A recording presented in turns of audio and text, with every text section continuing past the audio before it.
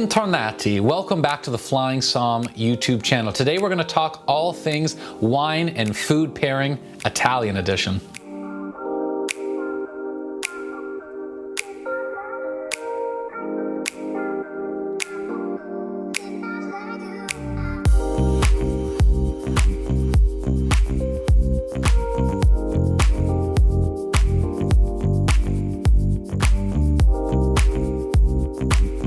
If you're just joining my YouTube channel and you don't know much about me, my friends will tell you I love Italian food and I love Italian wine. Today we're going to kind of talk about two delicious dishes. One dish from the north of Italy, it is a beautiful risotto with radicchio and some gorgonzola uh, cheese with a little bit of mascarpone. And then we have a more Tuscan dish in the center of Italy. We have a beautiful tagliatelle pasta with a nice ragu sauce. And in the ragu, we have some veal, we have some pork, and we actually have some bison. So we're gonna kind of talk about how do we pair wine with food. Obviously, we do have two Italian dishes. We clearly have two Italian wines. We have a beautiful Barolo, a beautiful Brunello, but I'm also gonna talk about how we can perhaps pair some white wines and wines from different countries into your dishes. So first of all, when it comes to growing, uh, pairing wine with food, I always like to say what grows together goes together. You're doing Italian food, have an Italian wine. You're having a French dish, have a French wine. You're doing a New York strip, pair it with a California Napa cab. What grows together goes together is one of the best food and wine pairing knowledges, uh, pieces of advice I've ever been given. First of all, let's talk about where risotto's from. Typically, risotto's in the north of Italy in Piemonte, so I decided to say what grows together goes together. We have a risotto and a red wine sauce. Let's grab a red wine from Piemonte. This is a beautiful Barolo by Rivetto north, north, north, northern dish, northern wine. Then of course we have a classic Tuscan tomato sauce ragu on a tagliatelle bed of pasta. What better than a Brunello di Montalcino from Tuscany? So again, we're kind of going northern Italy, central Italy, pairing with wines that are uh, applicable. How come we also have a white wine with this first dish?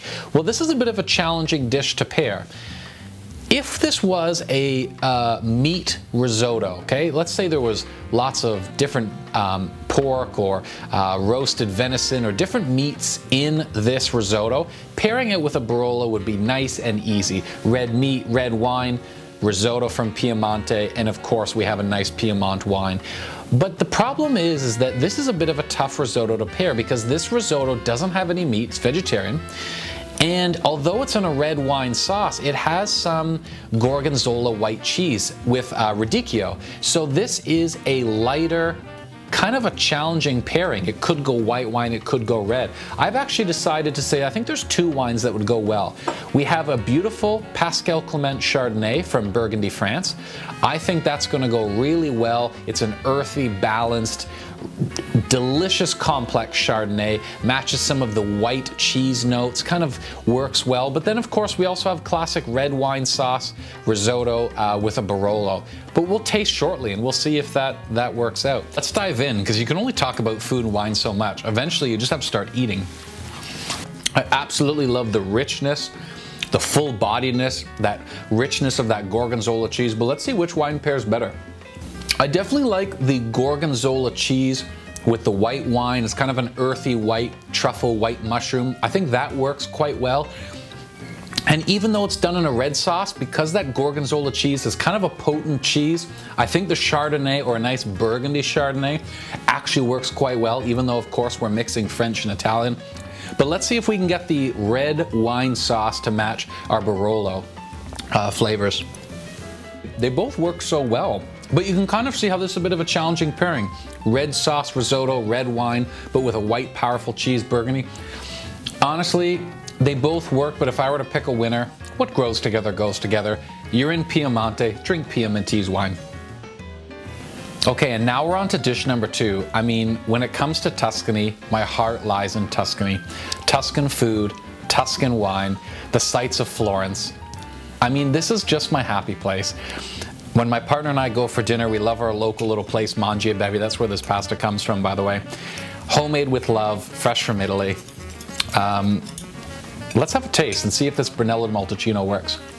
Those red sauce flavors, the richness of the meat, uh, three meats, so you know it's delicious. Um, that's a really savory, rich ragu, but let's see if it goes well with the wine. The red sauce flavors, the red fruit flavors of the wine, it really works quite well. They're not overpowering each other. If we were to have like a Napa Cab, black fruit flavors that are really strong would overpower the dish but kind of like a medium plus bodied wine, medium plus bodied dish. This is not a T-bone steak on a plate. We don't need a T-bone steak wine. Perfect dish, perfect wine. What grows together goes together. The Sangiovese grapes, or the Brunello clone of Sangiovese grapes, are grown in Tuscany right where of course we have our tomatoes, our pasta. It just really works quite well. And it can't, you can't go wrong with some focaccia bread too. A beautiful light doughy bread, a little bit of olive oil, salt, pepper, toasted. I mean, you can, you can enjoy Olive Garden breadsticks all you want. I'll stick with my focaccia.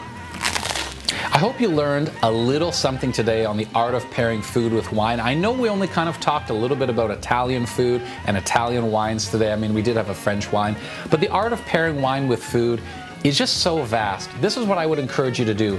Grab some good wine, grab some good food, play around a little. Worst case scenario, you say it doesn't you don't like it, switch it out for a different wine. This food smells so amazing. I'm so thirsty. I'm so hungry, but I can't finish today without thanking, of course, our uh, wine, our featured wine supplier. Uh, this beautiful Chardonnay, this beautiful Barolo, and this beautiful Brunello di Montalcino from Tuscany. All three of these wines are available from Le Sommelier, that uh, a beautiful family-run kind of bespoke wine agency here in Toronto. There is a promo code for your first order, and those that live in the GTA in Ontario, you can order any of these wines right to your front front door. You can also pick up these beautiful Zalto glassware. We ship Zalto across the country. You don't need to be Ontario. And last but not least, I have to thank Eleonora from Mangia Bevi. Beautiful risottos, beautiful pastas, her pizzas to die for. If you're in Toronto, head to Riverside, check out Mangia Bevi. You'll probably see me sipping Barolo at the bar. Cheers.